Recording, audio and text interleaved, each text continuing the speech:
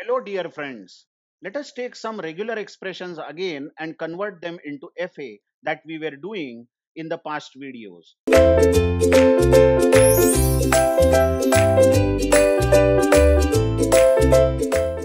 Now here is the regular expression given and using our technique we might fall into trouble if we don't know how to simplify a portion of a regular expression. But what you would do generally is you would say the first letter should be A and now there is a loop. Check due to this closure, there is a loop, but the loop is on the two different loops that is A star plus B star. You will end up doing a mess over here. But you know from the past video where we saw some of the rules of regular expression or formulae that a star plus b star the whole star is same as a plus b the whole star. So this regular expression becomes so simplified. Now the first letter is a, next is the loop on a comma b isn't it a or b and finally there is a b at the end over here of the regular expression and this becomes the final regular expression otherwise we would have started with A and then wondered that we want a loop on A, we want a loop on B, and so on. And further, we want loop on entire part because there is a final closure here. Knowing some of the rules or formulas of regular expressions become beneficial so that such complex regular expression parts can be simplified so much. Now let's see one more example. Here we go. We have been given A star B star the whole star followed by AB and we want to draw an FA for it.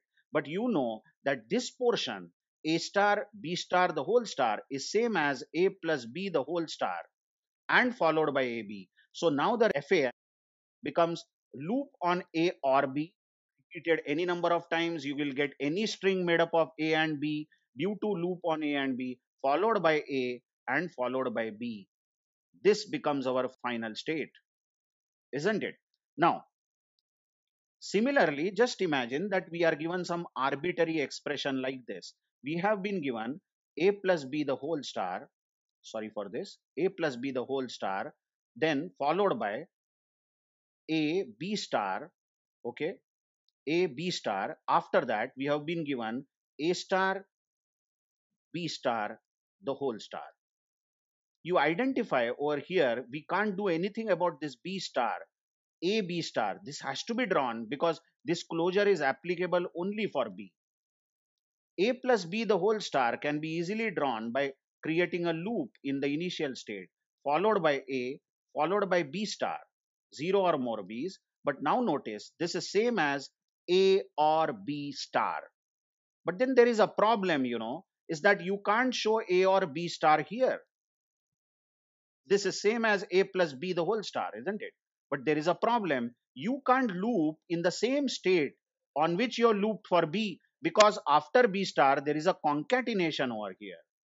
So you can't show this loop over here, but you will have to draw a new state where you can say that this is a plus b the whole star. But then you will have to put epsilon transition because you needed to add a new state for concatenation after b star with a plus b star and this becomes the final state.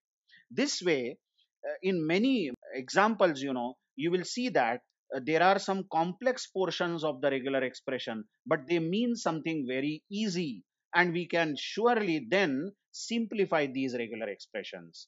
Thank you very much